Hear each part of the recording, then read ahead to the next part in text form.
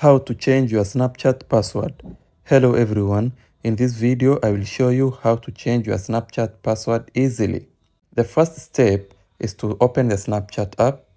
After that, tap on the profile icon.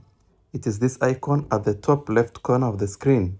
This will take you to the profile section of your Snapchat account. From there, we have to go to the settings of our account because that is where we can change our password from. To go to the settings, tap on this icon here on the top right corner of the screen, which has the icon of a gear.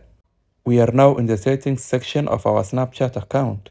Please make sure you follow this tutorial step by step to avoid making any mistakes.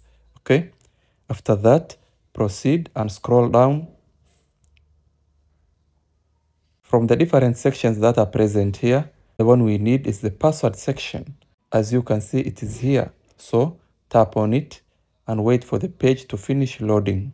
On this page, you have to enter your current Snapchat password before Snapchat can allow you to proceed and change the password. This is a security measure to ensure that no one else can change your password except you. Once you enter your password, tap on this green button here named Continue. Snapchat will check if the password is correct. If the current password matches the right one, then you will be taken to the new password page.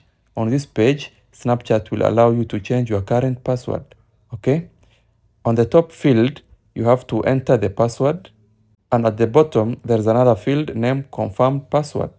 That is to make sure both your passwords match. So that if you make mistake, then you will be able to correct it.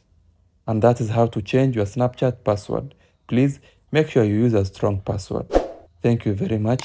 I hope this video has helped you. Kindly like the video and subscribe to our YouTube channel. Thank you very much and bye.